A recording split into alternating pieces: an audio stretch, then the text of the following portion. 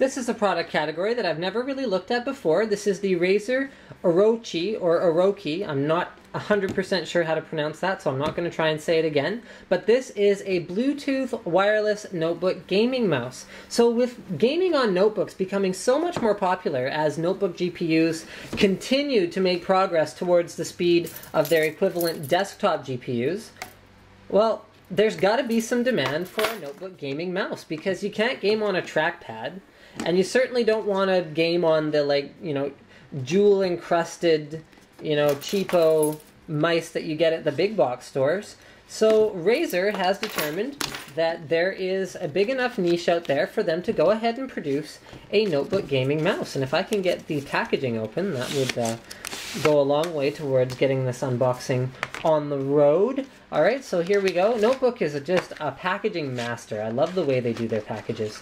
So let's start with this one. I mean, sometimes they're a little bit difficult to get apart, but they're certainly cool. So they've got their little for gamers by gamers slogan. Razerzone.com is their website. You unbo oh, unbox this, you open this. Welcome to the cult of Razer.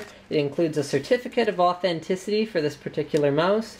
You've got a quick start guide which presumably will show you yeah, how to put batteries in, how to uh, sync it up with the receiver, how to switch to wired mode.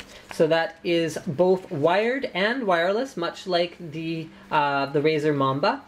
Okay, so we've got a master guide. So this is a more detailed guide, uh, battery, pairing indicator behavior, got some little pictures in there, shows you how to use the driver software. All right, next we have a other language, and then we have a master guide. Well, hold on a minute. What's the difference between the master guide PC? Oh, this is the master guide for Mac. So showing you how to use the Mac software. Very cool. Wow, that's a lot of uh, it's a lot of manuals for a mouse. Next we have a Razer sticker, and as I recall, these are UV reactive, but don't quote me on that. Okay, then we have, ooh, a little carrying case. Very nice, very nice. Includes some batteries, energizers, and then also in here is a little, uh, okay, a little like separator thing. So that stuff doesn't get from one side of the carrying case over onto the other side. Very nice. Then we have the, uh, oh yeah, the wired adapter. So that looks like a mini USB cable on that side, and that would be a larger USB cable on that side. Alright, let's see if we can figure out how to get the mouse out of the box. It's styled after the Mamba box, but not quite as uh, not quite as premium. I mean, the Mamba box was, uh, the stories going around on the web were that the, the, the box for the Mamba was a, a significant part of the, of the price of the mouse because it was so cool. Like, it made it look like the Mamba was floating in the packaging. There we are. So, um, they've got the floating effect, but it's not quite at the same level. This is a less expensive product, though, so that stands to reason. Alright, let's see if I can get this out. No. Okay. Oh, I still gotta make another plastic incision here. There we are. I think it's gonna come out now. Yes, success. Okay, so there's a couple uh, little tabs here that I believe are holding the mouse in. So if we just kind of give that a little Okay, the mouse came apart while I was trying to uh, take it out. Oh, that comes off really easily. That's good. Um, there we go. Okay, I finally managed to slip it out. So this is a very, very small mouse, which stands to reason as it is a notebook gaming mouse. So I'm going to go ahead and put that on my mouse pad here.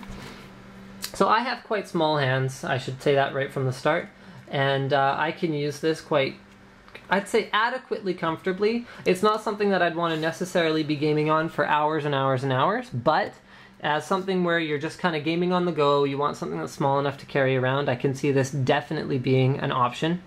So here is the uh, switch on the bottom, which I'm sure if we had read the manual, we'd know what it does. I think it has to do with the pairing, actually.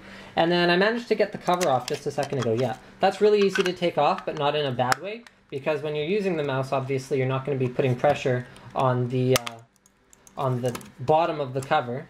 But okay, in terms of buttons, we've got one, two, uh, back and forward or on the side here, and then we've actually got two more on the other side. So we've got a ton of buttons on a tiny notebook mouse like this. Our two main ones are mouse wheel click, two on this side, and two on the other side. So you just go ahead and lift that up from the back and it's as simple as that. So you can put the batteries inside.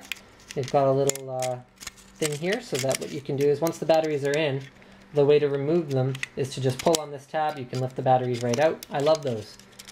They've been around forever, but still a good thing to have included with any product. Okay. Well, I guess that's all there really is for me to say about it. There we go. We put the cover back on. It's that simple. And here, why don't we just, to, you know, do something else in this video, something different, why don't we use an accessory? So we're going to go ahead and put the mouse inside there, and then close it. Aha! So the mouse is installed in its little carrying case. Very cute. And actually here, why don't we show this too? So this is how to plug in the USB interface. If you do not want to use it in wireless mode, you just plug that into the sort of the bottom, front bottom of the mouse right there. That's where the USB interface is. This goes in, uh, it's on little sliding rails right there, so you can't put it in wrong. Just slide that, oh, apparently I'm putting it in wrong. There you go, you just slide that in there. And then the mouse looks like that, and you can plug it directly into your notebook. So yeah, if you have a gaming notebook, this would probably be a good addition to it. Thank you for checking out my unboxing of the Razer Orochi or Oroki. Please help me, leave a comment. And uh, don't forget to subscribe to my Linus Tech Tips video blog for more unboxings and product showcases and other videos.